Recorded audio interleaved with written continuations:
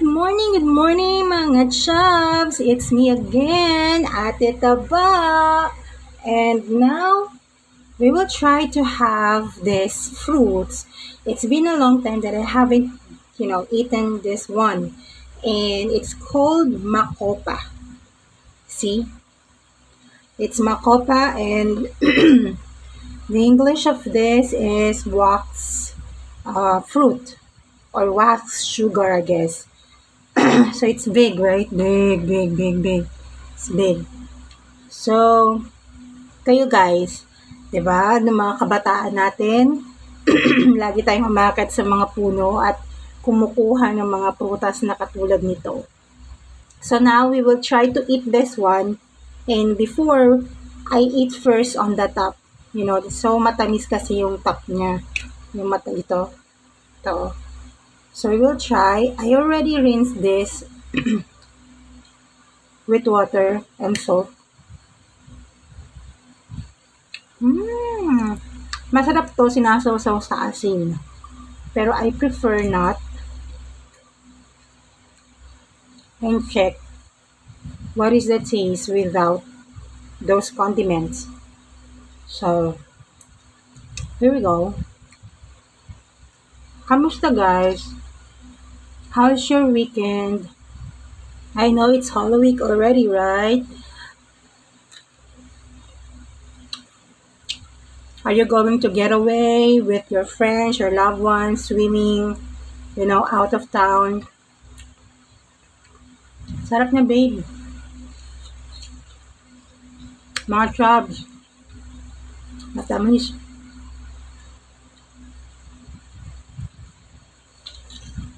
Mmm.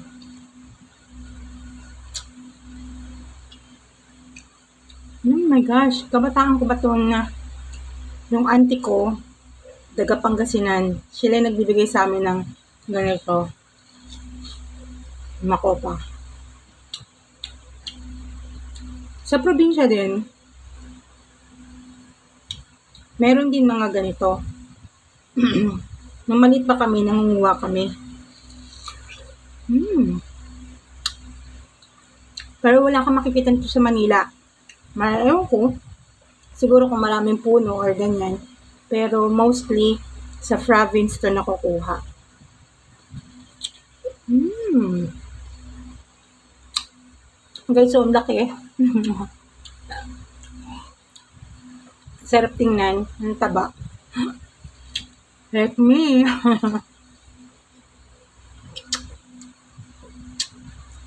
Makopa. May maliliit na variant nito.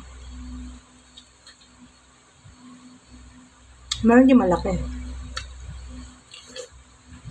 Ito malaki. Mm.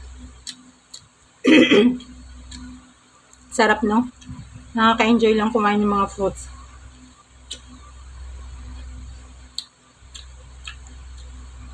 Ngayong long weekend, saan nyo balak pumunta guys?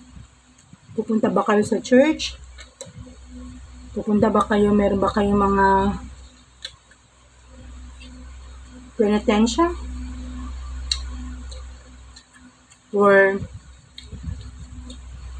mamamasyal kayo with your family? Bakasyon nga, diba? Hmm.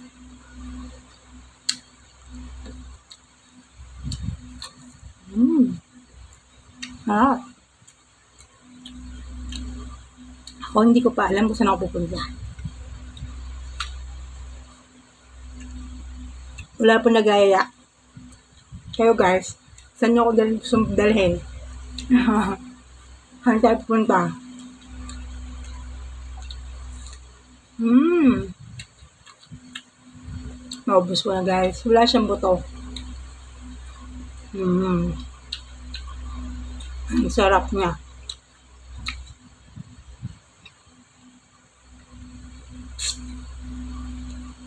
My gosh. Kabataan ko, ang hili ko kumain nito. My God, nauubos ko siya. Ang dami. So guys, thank you again for watching my vlogs. I'm still have this makopa.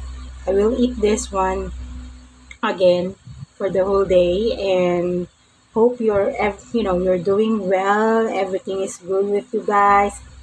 I know it's a long weekend. Where are you going guys? Anyway enjoy the rest of the week and you know have your days good. And pray always.